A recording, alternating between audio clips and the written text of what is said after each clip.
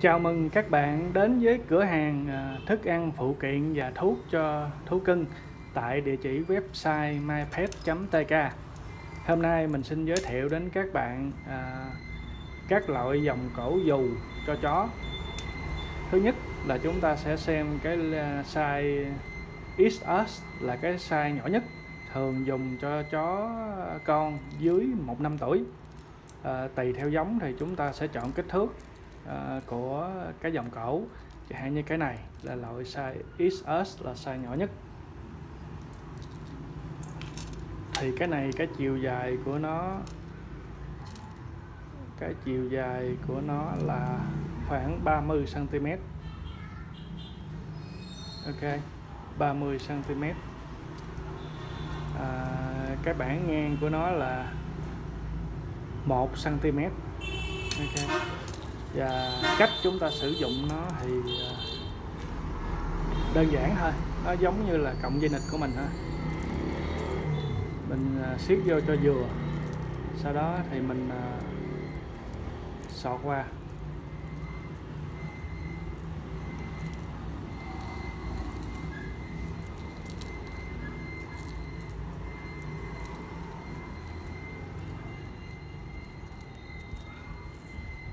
Sau đó mình nhét cái này vô cho nó cứng. Và đây là nó có cái lục lạc size XS nó có cái lục lạc. Nó lục lạc nghe cũng nhỏ cho nên ờ, nó cũng không có làm ồn cho chúng ta. À, tiếp theo là mình giới thiệu đến các bạn ờ, cũng là dòng cổ dù có chuông nhưng mà size lớn hơn một chút. Đây là tiếng lục lạc chúng ta cùng xem thử cái chiều ngang nó bao nhiêu. Chiều ngang của nó là khoảng 1, khoảng 2 cm nha các bạn. Chiều dài của nó là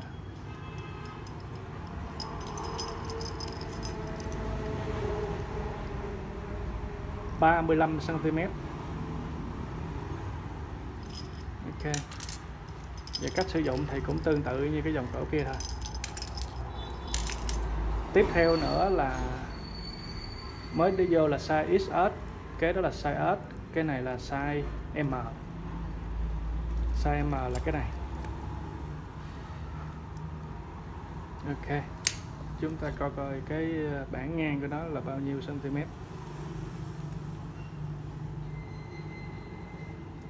cái này là bản ngang của nó là 2.5 cm chiều dài của nó là 40 cm tiếp theo là size L. Có bản ngang của nó là bao nhiêu?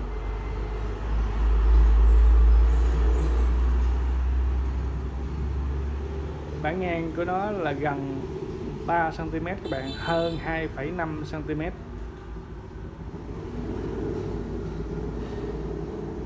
bản ngang của nó là 2,5 cm đúng 2,5 luôn.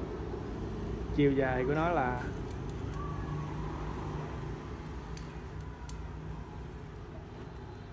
bốn mươi.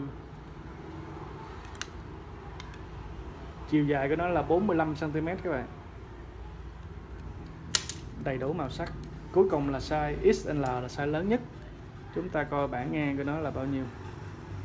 4 cm và chiều dài của nó là 1 2 chứ. 40 cm chiều dài của nó là 54 cm 54 chắc là 55 các bạn. Giờ mình kéo thôi. Chiều dài của nó là 55 cm à, cái lợi ích của cái dòng cổ này thì nó giá thành rẻ bền nhiều màu sắc. À, do đó thì à, rất là dễ sử dụng. Rồi cảm ơn các bạn rất nhiều. Nếu các bạn thích video của mình thì hãy bấm like và chia sẻ cho nhiều người cùng xem.